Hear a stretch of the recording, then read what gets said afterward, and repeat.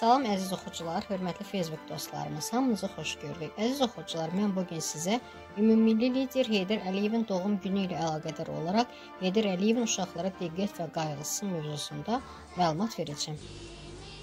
Uşaqlar hər bir ailəyə xoşbəxtlik bəxş edir. Uşaqlar cəmiyyətin gülüdür, çiçəyidir. Uşaqlar hamımızın həm bu günüdür, həm də gələcəyidir.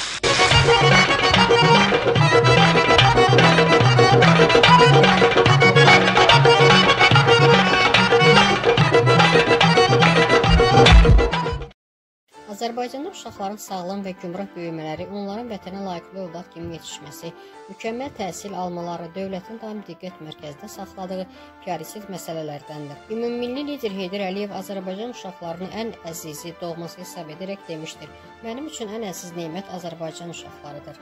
Çünki Azərbaycan prezidenti kimi mən bu gün haqqında yox, Azərbaycanın böyük gələcəyi haqqında düşünürəm. Azərbaycanın gələcəyi də Azərbaycanın uşaqlarında və gənclərindədir. Ulu Öndər 1993-cü ildə xalqın təkidi tələbi ilə yenidən hakimiyyətə qayıtdıqdan sonra uşaqların sağlamlığı, təhsili, onların xoşbəxt gələcəyi üçün mühüm əhəmiyyət kəsb edən tədbirlər həyata keçirmişdir. Müstəqil Azərbaycanı gələcəkdə də yaşadacaq və möhkəmləndirəcək uşaqların gənc nəslin formalaşması üçün bir sıra fərman və sərəncamlar imzalamışdır. Uşaqlar bizim sevincimiz, xoşbəxtliyimiz, cəmiyyətin gələcəyidir. Uşaqlar hər bir insanın mənəviyyatıdır. Ona görə də dünyada hər bir insanpərvər cəmiyyətdə uşaqlara daim xüsusi qayğı, xüsusi diqqət göstərməlidir.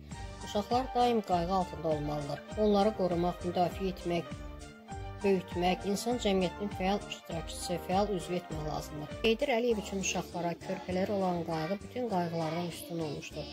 Uşaqlar bizim gələcəyimizdir. Gələcəyimizi nə cür tərbiyə edəcəyiksə, böyüdəcəyiksə, ölkəmizin, millətimizin, dövlətimizin gələcəyi bundan asılı olmalıdır. Ona görə də bu bizim müqəddəs borcumuzdur və biz bu borcu yerinə yetirməyə çalışırıq deyə söyləmişdir. Heydər Əliyev valideyn himayəsindən məhrum olan uşaqlarla Körpələr evində olan uşaqlarla daha çox maraqlanırdı. Demək olar ki, bütün bayramlarda onların yanında olurdu və onların bütün ehtiyaclarının təmin olunmasına diqqət yetirirdi.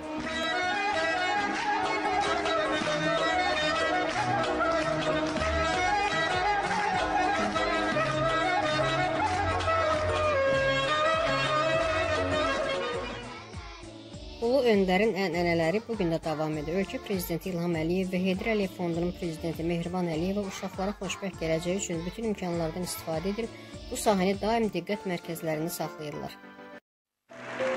Əziz balalar, sizə Azərbaycanın bütün uşaqlarına, bütün gənclərinə sağlam həyat və xoşbəxt gələcək arzulayıram.